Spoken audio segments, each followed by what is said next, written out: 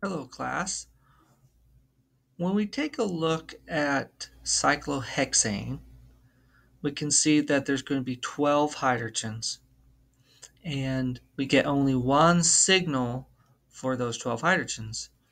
Now, what's interesting here is if you do the replacement test between this axial hydrogen and this equatorial hydrogen, you will see that they are not equivalent.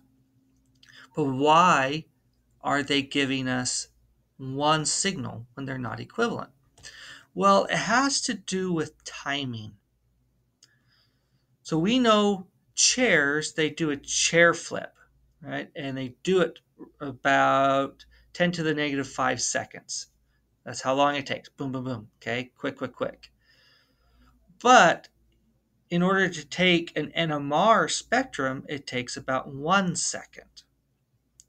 So what's happening here is that the NMR can't, well, let's back up a little bit. It's kind of like this analogy taking a picture. Have you ever had to take a picture when you had little kids in uh, the photo and they're constantly moving, waving their arms? Have you ever taken those pictures where the kids are waving their arms you take a picture, but the hand is like a blob or a blur?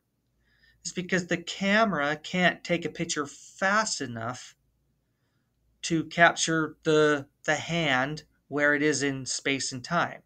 So it's just a blob of it or a blur. That's kind of what's happening here in an NMR is that the hydrogens here are axial and equatorial and the NMR is trying to take a picture of what it looks like but the, hydrogens are flipping so fast that the NMR can't take a good picture of it. So what we have is only one signal because it's taking the average of the axial and equatorial states. That is why we only get one signal. It's just averaging the proton environment. And that same concept applies to something that we've already discussed, that is methyl hydrogens we can see in this snapshot in time, if we could freeze time, we see that this hydrogen is close to that oxygen, whereas this hydrogen is not as close to that that oxygen. So why do we get just one signal? Well, it has to do with the speed of the, the NMR experiment. Those three hydrogens are spinning at such a high rate of speed that we are just taking the average of those three protons to give us one signal. Recall that methyl hydrogens are always equivalent. Okay, that's what's happening there. The other thing that we need to be aware of is the solvents that we use to do our NMR experiments if you have your molecule of interest, if it's a solid or liquid, you're going to dissolve it in a solvent.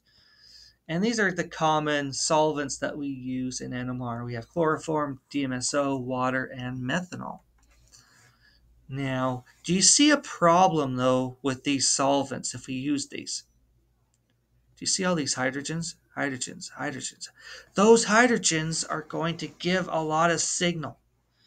And since the solvent is going to be in such excess concentrate in such excess concentration in comparison to your molecule of interest, the signals for these protons are going to drown it out and you won't be able to see your molecule. So, what scientists have done is that they've made solvents deuterated solvents. So, deuterated solvents are simply you take all the hydrogens in your solvents and you replace them with deuterium. And deuterium is not NMR active. So you won't see it in the NMR. Isn't that pretty cool? So you use deuterated solvents to do your NMR experiments and replace it all right there.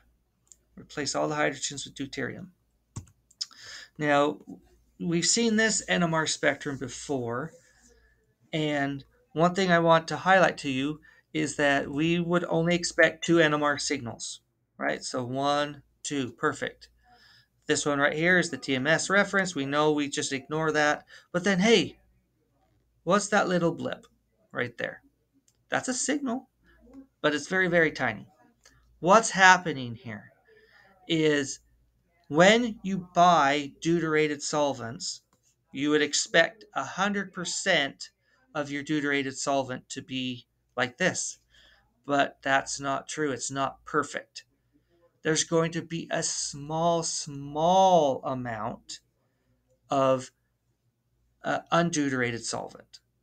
So, for example, if you buy chloroform, most of it's going to look like this, but there will be trace amounts of chloroform with the hydrogens.